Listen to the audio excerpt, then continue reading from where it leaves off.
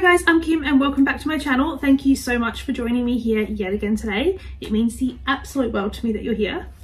Uh, I am here today to talk you through our budget plan for July 2023. Uh, so this budget plan is the first one that is going to have a lower income because I'm currently on maternity leave. Today is the 27th of July and I am pre-filming this video.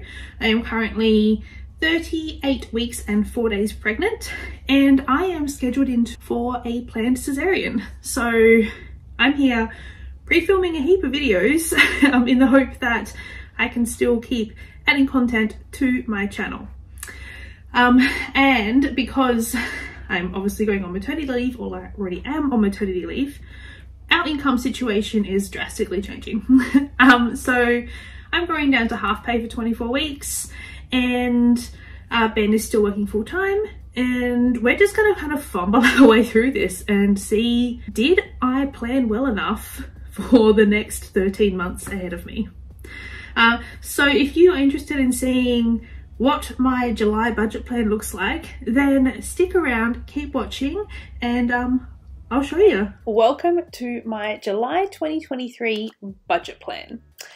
So this month is officially the first month of a lot less income for the next 13 months. And this budget is going to be what our next 12 months looks like, really. So, um, basically, what we've done to prepare for this is we've saved up um, a sinking fund called maternity leave, um, and I have 24 weeks of income at half pay from my work. My husband is still working full time, um, and after my 24 weeks is up from work, I am entitled to 18 weeks of pay from the government. So I'm very fortunate in Australia that, um, yeah, where if you work and meet the income test, you are eligible for um, extra paid parental leave. So my income for the next 24 weeks is cut in half, um, and then after that it goes down again, and then the last few weeks I will not be earning an income at all, which is what the mat leave sinking fund top up is going to be for. I'm not entirely sure how it's going to work, but you know, just follow me and we'll wing it and work it out and see what happens. so, for the month of July, we plan to bring in $7,216 for the month. Now, the way that I have budgeted to have this allocated is as per this spreadsheet, and I'm going to go through it all with you and talk you through where I think we're going to be spending the money. So, for our debt, for the month of July, we will be spending $2,388.48 on our mortgage, 100 for electricity, 100 for gas, 60 for water, 200 for council rates, 240 for Foxtel and internet, 130 for my phone, and 68 for Ben's phone.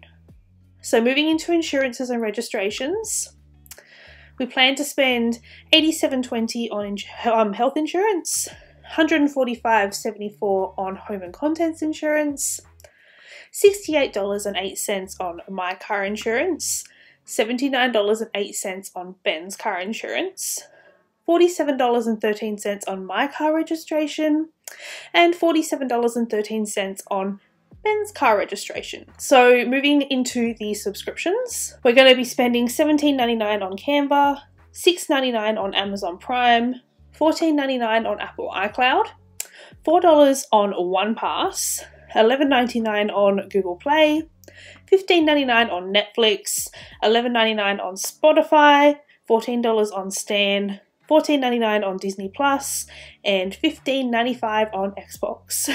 Yes, that is a lot of subscriptions, I know, but we actually use them all. Um, and if we found out that we were struggling in any way whatsoever, these are kind of the first areas we would start to cut down on. But until that becomes an issue for us, we know for the next few months we're going to be complete homebodies, and we are happy to have those subscription services for our own entertainment. Uh, so for our variable expenses for the month, I've allowed 250 for fuel, 1300 for groceries, 300 for dine out and takeaway, 150 for entertainment, and 687 for our splurge. Uh, so to be honest, um, I don't know whether we're going to be doing much entertainment for the month of July with um, a newborn in the house. Um, dine out and takeaway probably won't be so much dining out. It might be more takeaway than anything. Um, but yeah, just kind of gonna see how it goes adjusting to our new normal. Um, and as always, our splurge is a total of 10% of our predicted income, and um, it's split between the two of us. So we get 5% each to spend on anything we want, no questions asked for that month. So, having said all of that, for the month of July, we plan to spend $6,576.72 on our kind of daily, monthly living expenses. So, this gives us an estimated total of $639.28 to add to our sinking funds for the month. So, just as a quick rundown, the current sinking funds that we have are my maternity leave fund, emergency savings, a new line which is opportunity fund. Um, I'll explain that one to you a bit more once we fine tuned it. Uh, we now have a baby fund. We have an AFL Grand Final fund because we have decided that this year instead of a like a normal traditional holiday as such we are going to go to the um, AFL Grand Final. Um, for those of you who are not from Australia, the AFL Grand Final is the Australian Rules Football League big end of year game. We have a gifts fund, a car maintenance fund, Christmas, miscellaneous, medical, dog medical, home improvements, clothing, a credit card fee fund, dog grooming and food, personal grooming, garden, ambulance cover, RAA, emergency services levy, dog registration, and a ring doorbell subscription fund. Uh, so what we would do here is, uh, when I know the exact amount that I have to disperse for the month between all these funds, I will add in the funds line here what we plan to add to the funds for the month, as well as what we've used for the month. That's like a really, really quick wrap up of what July is going to look like for us. This is probably the most life changing financial month that we have ever had so far um, when it comes to just not really knowing where our budget sits and how this new tiny human is going to fit into our life and into our budget and we've got a steep learning curve ahead of us. So if you're interested in seeing how this little baby affects our income, then keep watching in the months to come. I'm excited to share with you all of the ups and downs. Um, there will definitely be some other videos around like baby family content as well as budgeting sort of stuff around babies. So. Okay, so that's it. That was my July 2023 budget plan. So definitely a lot less income than we're used to, um, but the bulk of our income still covers our everyday expenses and it still gives us the opportunity to potentially add to sinking funds. Um, and that to me was what was really important. Uh, and we've also saved accordingly to make sure we have extra money to top up if we need to. So if you liked the spreadsheet that I use, um, I do have a version of it available for sale in my Etsy store for a very small fee.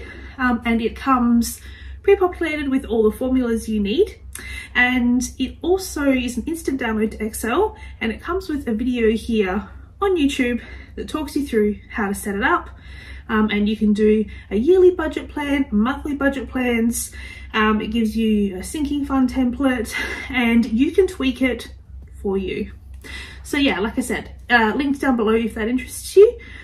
But other than that, yeah, my life is about to hugely change. Um, I'm sure that you know, if you want to see more and find out about what went on with baby, if you want to be introduced and meet him, hear a little bit about our birth story, check out any of that stuff, stay tuned. That stuff will all be coming in the future if that sort of thing interests you. But other than that, I'm gonna love and leave. Um, if you enjoy these videos, make sure you give it a thumbs up, hit that subscribe button down below and ring that little bell, and that way you'll get notified of my videos in the future. And until next time, bye guys.